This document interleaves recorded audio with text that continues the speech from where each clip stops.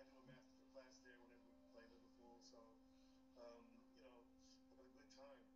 And and, and, and that English tour began.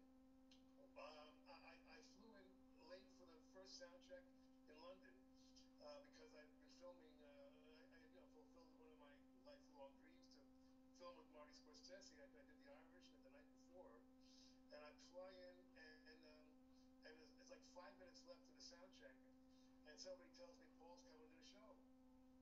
I'm like, oh man, I you know I, I better prepare something just in case. So we very quickly did a Little Richard version of I Saw Her Standing There because you know we had the horns, and I knew Paul was a fan of Little Richard because it, if it wasn't for Paul and the Beatles, I never would have heard of Little Richard. You know, um, so we did we did a, we did a, we went through it just one time, and sure enough, Paul shows up.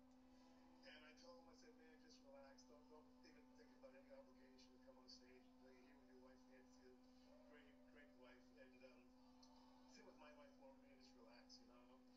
But sure enough, uh, we go we go to the encore, and my roadie runs up and said, Paul's coming up. I was like, oh my goodness.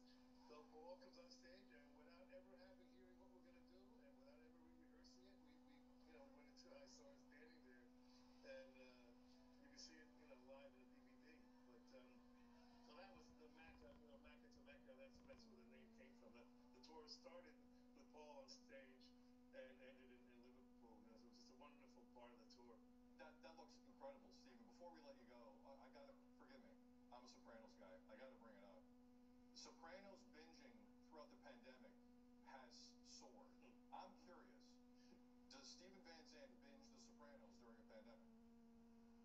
you know, I've never seen the show from the beginning, and, and I really I gotta do that one of these days. Um,